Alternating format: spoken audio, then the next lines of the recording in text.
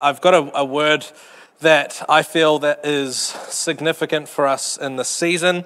I feel that uh, I, I, feel the weight and the gravity of it um, even now, just as I'm as I'm standing here and in preparation. I was feeling the weight and the gravity of it. Uh, just just in the presence of God, it was so powerful. And I, I believe that this is a time uh, here and now uh, to really take notice of what God is speaking to us individually but also to take notice of what God's speaking through uh, preachers and people that, that get up and speak at this time, because there is, there is a trend go, uh, th- going at the moment where a lot of people are talking about the fear of the Lord. They're talking about holiness. They're talking about travailing prayer, which means to pray the heart of God, intercession. There's an increase of a call to prayer.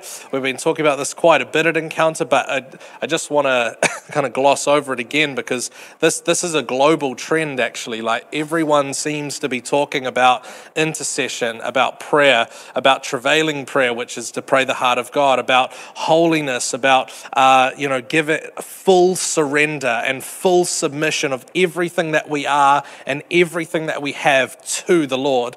And so tonight, I want to speak on uh, the fear of the Lord.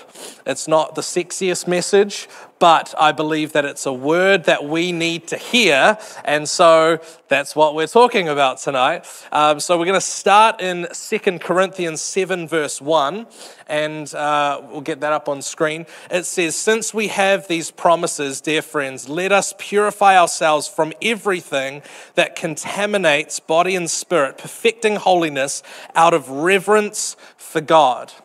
This is a scripture uh, written in Corinthians that uh, the Apostle Paul wrote.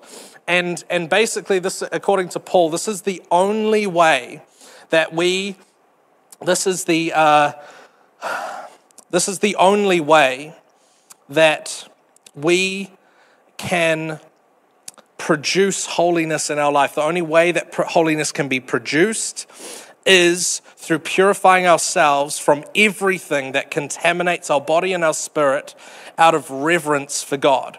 And so I, I, felt to, to speak on this tonight because I believe that we're in a significant time. We're in a time where uh, you know, our schools, our kids, our youth are being attacked in terms of their identity and what they should believe and what they shouldn't believe and what they can say and what they can't say. We, like every generation, is, is, is under that as well. There's, there's this uh, attack on free speech, on uh, like value systems in terms of Christian values, biblical worldviews. There's an attack on it. And it seems to be that, like, more than just words, like, actually, there's, uh, there's reality to this. And you can say something on social, at one point, you could say something on social media and get destroyed for it, but it's starting to happen more and more in the, like, in day to day life as well. And, and there seems to be the suppression of what we can and can't say. And, and, and what I uh, believe at this time is, is that there's obviously an attack on, on these types of things, but actually at the same time, there is a deeper call from God for us to prayer, intercession, deeper relationship with God, deep worship, strengthening ourselves in God like David did. You know, when David was rejected and uh, his, his, uh, the army around him had turned on him, he, he was at the lowest of the low points. He separated himself, he went away, and he strengthened himself in the Lord. And this is a time where what, whatever you're facing, whatever you're going through, uh, we, we need to find that place, that quiet place with God to strengthen ourselves in the Holy Spirit. Strengthen strengthen ourselves in our relationship with God. And and in the process of that, we are strengthened to withstand what is to come. And not only is there a call to these things, but a call to holiness, a call to righteousness, and I believe a call to fear the Lord again. You know, if you don't fear the Lord, you won't purify yourself or deal with issues in your life.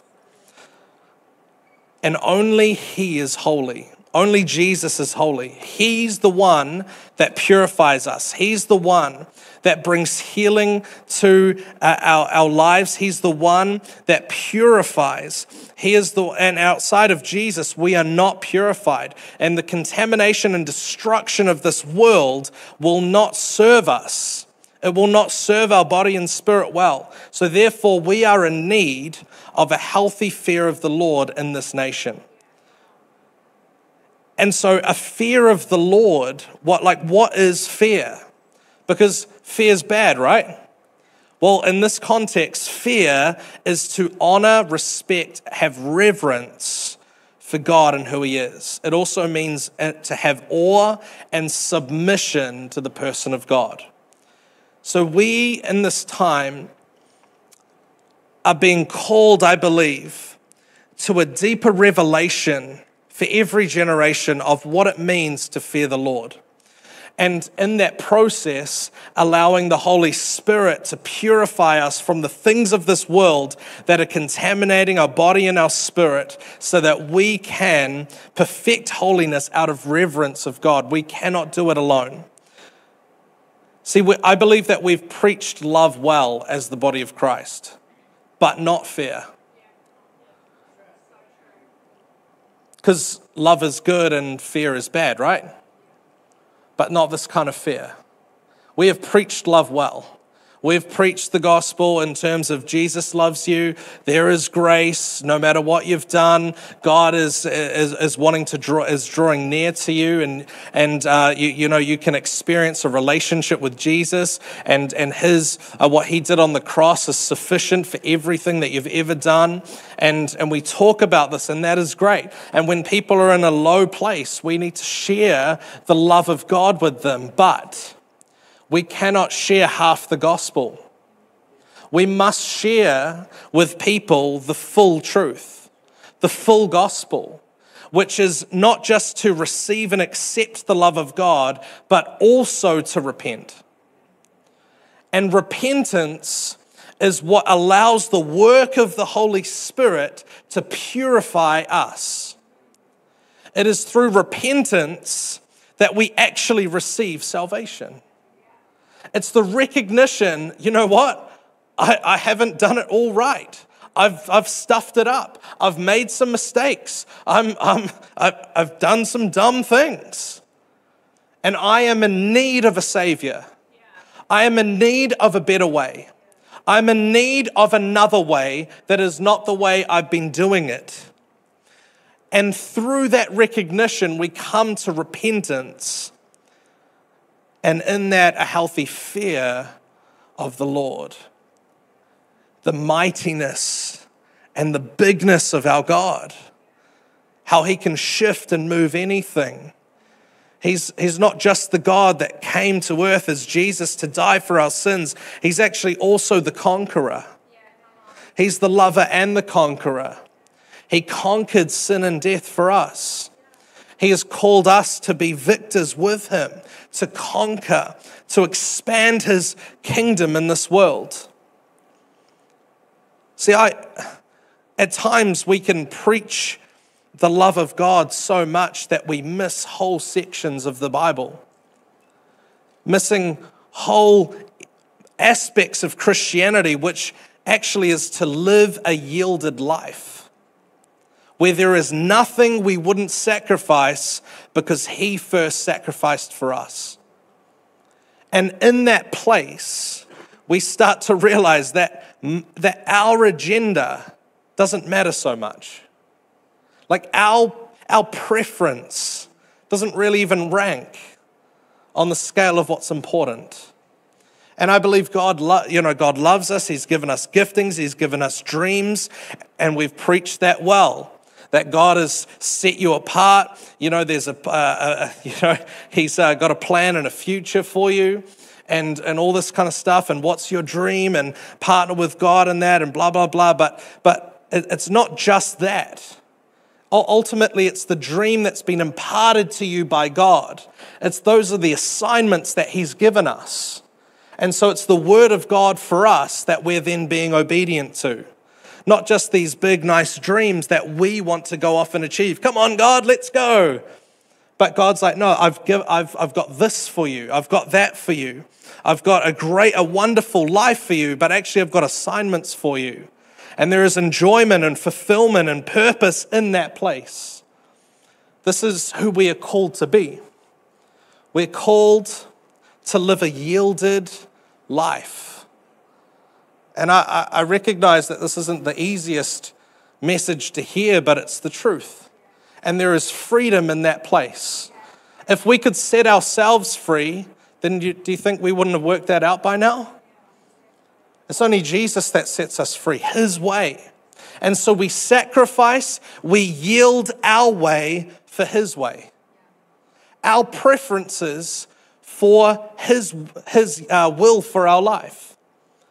We surrender our lives to Him, and then He entrusts us with our life to work it out, work out our salvation with fear and trembling before the Lord.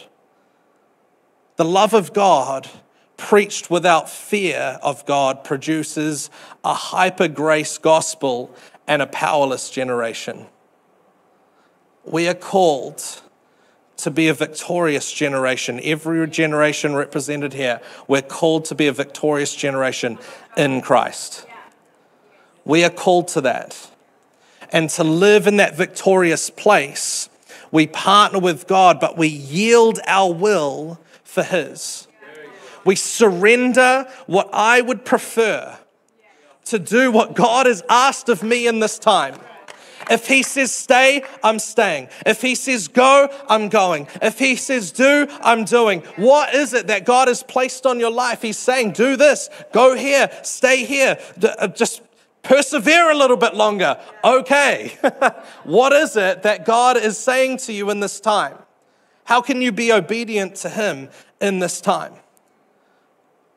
A hyper grace gospel says, you know what, doesn't matter. Doesn't matter what you've done, doesn't matter what you'll do tomorrow, doesn't matter what you'll do right now, all good, there's grace, Jesus loves you, it's, it's all fine. But that's half the gospel. That's half the truth. That's a hyper grace. And it, it, it leads to a powerless generation, and here's why.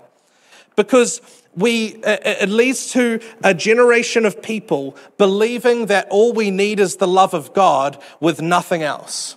And then what happens is we, we think we've received salvation, but we never step into the freedom that is in Christ Jesus. We never step into the fullness of life that God promised us. We never step into that fullness of life, that place of freedom, because the freedom comes in Him. Through the purification of our lives through the dealing with, dealing with issues in our lives. We've all got them. We've all got some situations. We've all got stuff. And the faster that we realize, you know what?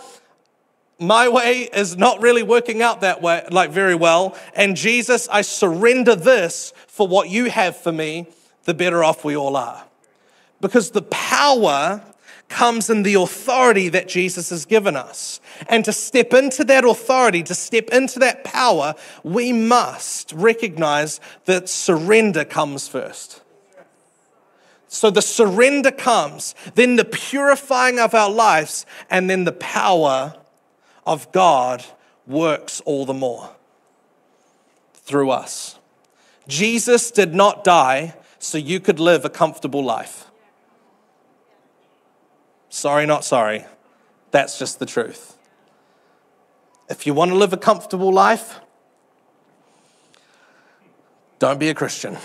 That's just the truth. But it's not that comfortable not being a Christian either, because you're living in powerlessness there too. So the issue is really, what did Jesus die for, and how do we step into that? To embrace the love of God and to repent is what we're called to the love of God preached without true repentance produces powerlessness. See, the only church that Jesus says he will come back for, there's only one. And it is not necessarily a relevant church. It's not necessarily a community based church. It's not necessarily a church that has great leadership, although great leadership is good. What Jesus says he will come back for is a holy church without spot or wrinkle. So, how can we live in that place of holiness? Because we're not perfect. How do, how do we live in that place? How do we live a life of holiness and righteousness, of consecration to the Lord? How do we do that? How do we become that holy church? Because I'm not perfect. I don't know about you. I'm definitely not perfect. I've, stu- I've stuffed up. I didn't become a Christian and then live perfectly after that. I've made some mistakes. Every single one of us has. So, how do we become that holy church? I believe that it is when we as a people choose to live our lives in complete surrender to God, keeping short accounts on the things that have gone wrong, working out our salvation with fear and trembling before the Lord, which means that each step we take, each decision we make, we're working things out with God and we're moving forward in relationship with Him, with fear and trembling before the Lord, with respect and honor and, and awe and submission to who God is we work out our salvation from that place. Paul says our salvation matures through the fear of the Lord in that scripture. So that is the only thing that produces holiness in our life. To come to a place of letting ourselves be purified of everything that contaminates our body and our spirit, which means that there are some things that we're doing, some things that we're saying that aren't that beneficial and they need to be dealt with. There are some things that are definitely sin and we definitely need to deal with them. The thing is, what is God saying to you now and will you be obedient to it? Maybe He's been tapping on your heart, going, hey, you need to stop smoking. Hey, hey, you got to stop vaping. That's not, it's not good for your body this isn't turning out very well for you. Hey, you know, you've got to, uh, the, this situation here with the constant lying, you've got to deal with that. That's going to cause this and this and this issue. And God's speaking to you. He's like, hey, this, this is something you need to deal with. And you're just ignoring it and going, hey, I'll, like, I just, just another day, like the lies are getting me out of stuff. It's helping me. Like this lie helps me get favor with these people. And this lie helps me uh, not get in trouble with these people. And we're choosing the things that Jesus said not to do to benefit us. As a benefit, it's, it's to benefit us. It's our preference. We're choosing the preference many times. But the manifestation of holiness is not preference. The manifestation of holiness in our lives is obedience. When we are obedient to what God is saying in His Word and to us, which the two should align, by the way, then we die to ourselves, our agenda, our way, and we take up our cross and we take up His way. That's who He's called us to be. See, the fear of the Lord, I believe, is received in a couple of different ways. One, it could be taught, that we learn it through the Word of God, through revelation, but it's also caught. You know, I, I want to be friends with people like Shadrach, Meshach, and Abednego. Like Pastor Brent's message this morning, powerful, embracing the fire. It's actually on theme. Like uh, this message I'm preaching is on theme to that because I, I want to be friends with people like that that would stand when no others would stand. That would decide, like, I don't care if I get thrown into that fiery furnace, I'm standing for the word of God. Yeah. I'm not worshiping any idols. I'm not doing anything that everyone else is doing because I know who God is and I will stand for that. And I will not compromise based on my preference. I will move forward in obedience. This is who God's called us to be, to be obedient. And I, like, I'm going to be honest, like, being obedient is hard.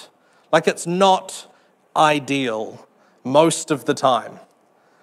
But the truth is, the, the short term benefit of moving, of operating in preference does not outweigh the long term benefits of operating in obedience to God.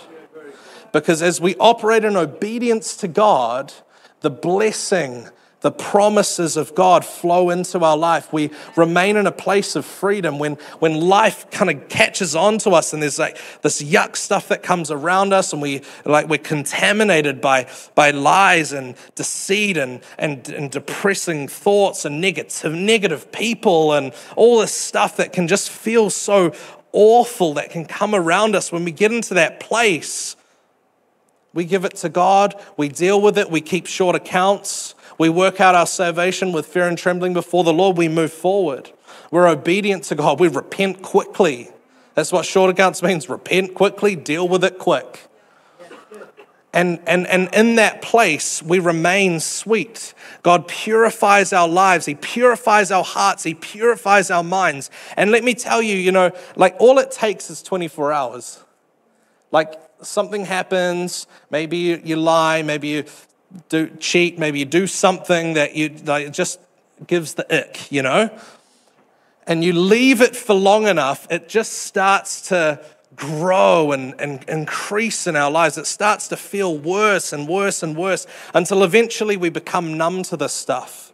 But the longer we leave it, the harder it is to deal with. So just deal with it quick the moment it happens, even if it's a, a habit that's happening for you every day or couple, every hour, whatever it is, just deal with it the moment that it happens. Keep short accounts with God and start to move forward in that place. So, what does God say is holy for you? For us. If you take nothing else from my message today, it's this when you leave this place, what is God saying to you is no longer okay for you to do or say. What is God saying in your life is unholy, is unrighteous, is contaminating you, is destroying you, that you need to stop, turn away from it, and move forward in the other direction. What is God speaking to you about in this time? Because God is calling us to be holy, to be a standard in our generations, to be set apart by God, like Shadrach, Meshach, and Abednego, no matter what would come at us, to be people that would stand no matter what. You know, I've done quite a bit of research into the Jesus Revolution, and it was before my time. But uh, from people that have spoken about it, that were part of it, and from what I, have been able to see, what, what people all seem to agree on is that the Jesus Revolution emphasized Father God. It's about the love of God coming upon people and people being, becoming impassioned by who Jesus was. They were getting baptized and getting saved, and thousands and thousands and thousands of people. And there were other things that, that spurted off here and there out of the Jesus Revolution, but it was largely about Father God. And the words, as, as I was thinking about this, the words that God spoke to Bridie and I at the beginning of this year just echoed through my mind.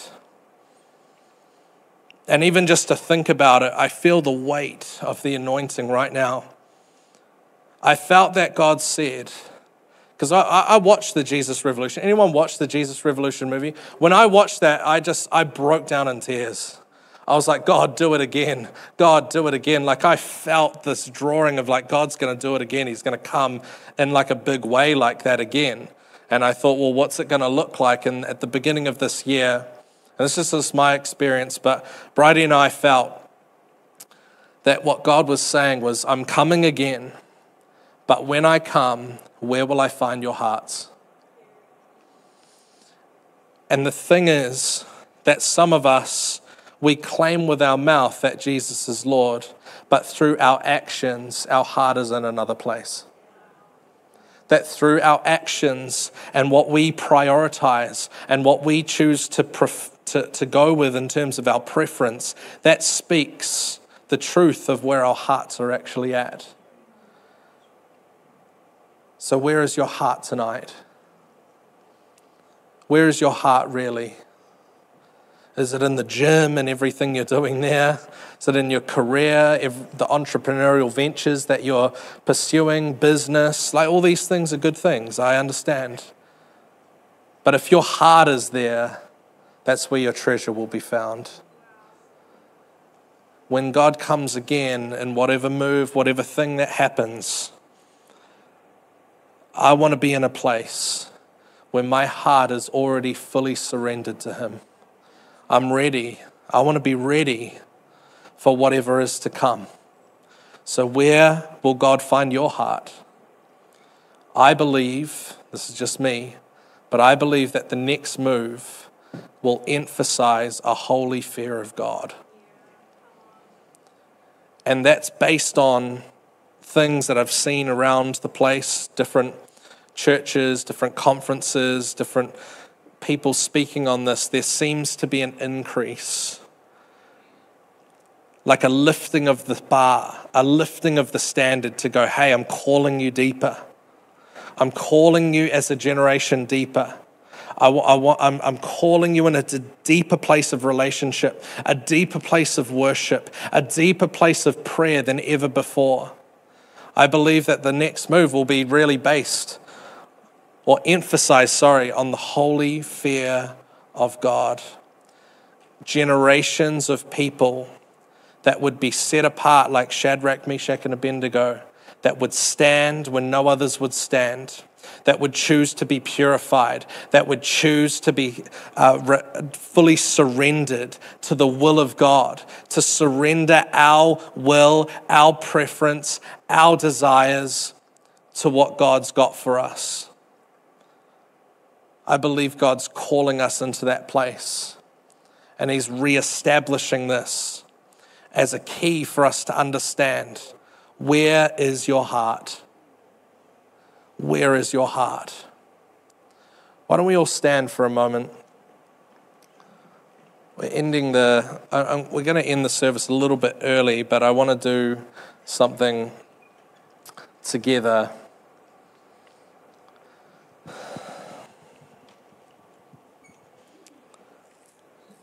Let's just get that, uh, that, that instrumental worship playing as well in the background.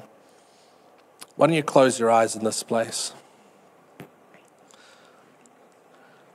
See, I, I believe that this word isn't just something for us to hear and let it tickle our ears and just get it turned down a little bit and, and to not walk out of this place any different. I believe that actually what God's calling us to is to make some changes in our life, make some priority shifts, to die, just to get a bit deader, die a little bit more, get rid of some stuff. And I wanted to create a space right now. I'm just going to pray in just a moment. I want to, but I want to create this space here for you in this auditorium. You can go anywhere you want in the auditorium. Find a space for you to just pray, to seek God, to worship Him in this place. And I, I was listening to this revivalist, this historian on revival, and he was saying that when they talk about prayer and intercession in most parts of the Bible, you can't really separate worship and prayer from from from uh, you can't really separate them because they're meant to go together. They're made to come be, be intertwined. There's meant to be so worship on our hearts and praise for God as we're as we're praying and we're entering into this place of, of deeper prayer. And so in this place right now, I'm going to get the music taken up soon. Find a place. I'm going to pray and then find a place in the auditorium to seek God for yourself. Because when this next move comes or when tomorrow comes, like it's the thing for now, not this wafty thing in the future. Where is God going to find your heart? Where is your heart now? He's a jealous God. He's after your heart in this place. I'm going to pray and then just leave this place open for you to seek God. I believe some people need to do business with God. I want you to just go into a place of prayer and worship with Him. We're going to leave this place open for it.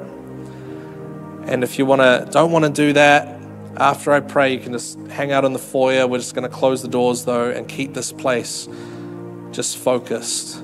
But before we do that, I want to tell you a testimony. We we did this night few Fridays ago for the first time, and we played worship and we were praying.